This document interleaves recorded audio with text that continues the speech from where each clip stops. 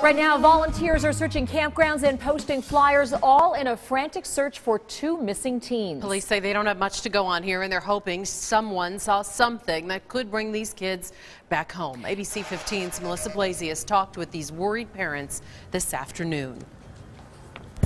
Yes, and this afternoon, family and friends printed off hundreds of these flyers. Their only lead indicates the young couple may have headed into the wilderness or to a campground. Here's what happened on Sunday night. 16-year-old Jared Smith was supposed to drive his girlfriend home after watching the Cardinals game in East Mesa, but the 17-year-old Natalie Marion never showed up.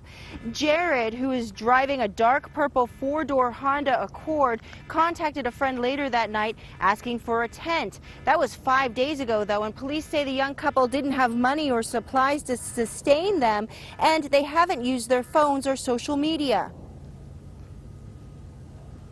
I'm in trouble, and I'm mad. I'm just, I'm sad and I'm scared.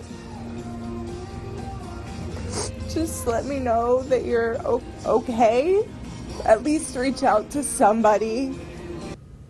Jared Smith is an experienced camper. In fact, his dad believes that he could spend several days out in the woods and be just fine. However, he is not an experienced driver, and that's why the family worries that maybe they were up driving on a mountain road and had some sort of accident or got stranded up there somehow. So again, the search is still on for these two teens, intensifying today with all these flyers going out. Boy. Melissa, when you hear that parent talk, you know exactly how they're feeling right now. Hopefully they're found soon. Thank you.